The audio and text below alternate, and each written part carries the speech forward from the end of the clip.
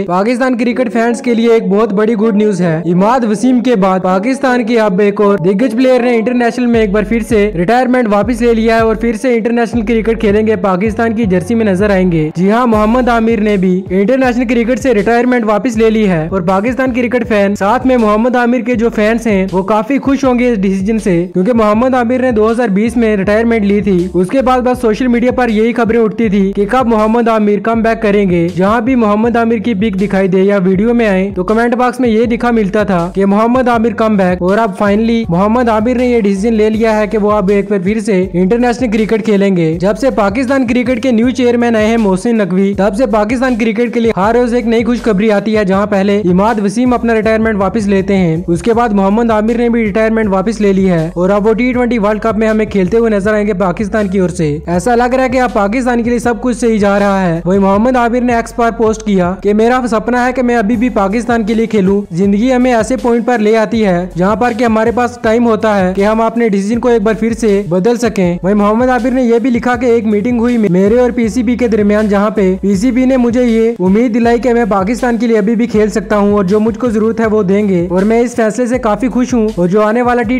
World cup है, उसे लेकर मैं काफ़ी एक्साइटेड हूँ और मैं हमेशा अपनी कंट्री के लिए खेलना चाहता हूँ। और मैं एक बार फिर से ग्रीन जर्सी में खेलने के लिए बेताब हूँ। इंटरनेशनल क्रिकेट में मोहम्मद आबिर ने अब तक पचास टी ट्वेंटी खेले हैं, जहाँ उन्होंने उनसठ विकेट लिए हैं। और इकॉनमी भी उनकी सात दशमलव दो की है। और इस साल पी में भी उन्होंने शानदार इकॉनमी के साथ दस विकेट भी लिए थे। लेकिन सबसे बड़ी बात यही है की मोहम्मद आमिर हमें एक बार फिर से इंटरनेशनल क्रिकेट खेलते हुए नज़र आएँगे। तो दोस्तों, आपको ये न्यूज़ कैसे लगी? कमेंट बॉक्स में रूप था ना स्पोर्ट्स के अपडेट हमारे चैनल को सब्सक्राइब करना। मिलते हैं अगली वीडियो में।